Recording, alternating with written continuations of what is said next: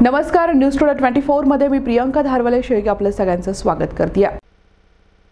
आपण सुरू केलेल्या अशा प्रामाणिक कार्याबद्दल आपल्या भविष्यात बऱ्याच अडचणीला सामोरे जावे लागणार आहे. आपल्यासमोर खूप मोठे संकटे सुद्धा येऊ शकतात. त्याला न घाबरता आपण आपले काम करत राहावे. मी आणि पूर्ण राष्ट्रवादी पार्टी आपल्या पाठीमागे खंबीरपणे उभी आहे असं प्रतिपादन चंद्रकांत दादा ठाकरे यांनी केलं. वाशिम जिल्ह्यातील नागरिकांना विविध कागदपत्रे काढण्यासाठी आणि इतर कार्यालयीन कामासाठी मोठी धमचाक करावी लागते हे लक्षात घेता राष्ट्रवादीचे प्रदेश युवक सरचिटणीस प्राध्यापक प्रशांत गोळे पाटील यांनी शासन आपल्या दारी राष्ट्रवादी घरोघरी या कार्यक्रमाचं आयोजन केलं होतं. तर सुरुवात केनवड येथील आठवडी बाजारात भव्य कार्यक्रमाचं आयोजन करून करण्यात आली. कार्यक्रमाला जिल्ह्यातील बहुसंख्य नागरिकांनी उपस्थिती दर्शवली. यावेळी केनवड येथील पार्टी कार्यालयाचं उद्घाटन देखील थाटामाटात संपन्न झालं. या कार्यक्रमाला अध्यक्षस्थानी जिल्हा परिषद सदस्य चंद्रकांत दादा ठाकरे प्रमुख उपस्थितीमध्ये दिलीपराव जाधव अमित खडसे असलमभाई ममदानी प्रमोद भाऊ चौधरी पवन राऊत शुभदाताई नाईक अनंता काळे सुभाषराव बोरकर गजाननराव आरू गणेश उंडाळ भागवत मापारी अमोल गायकवाड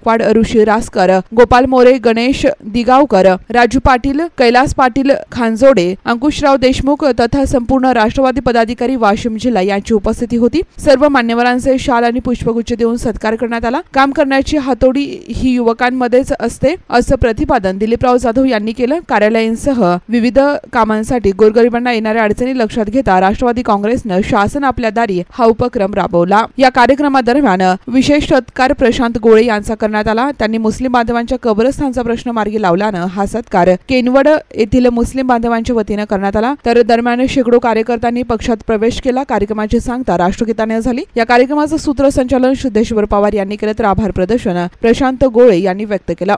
या कार्यक्रमासाठी कार्यकर्त्यांनी आणि प्रशांत गोळे मित्रमंडळांनी अथक परिश्रम घेतले. Bureau report news today twenty four.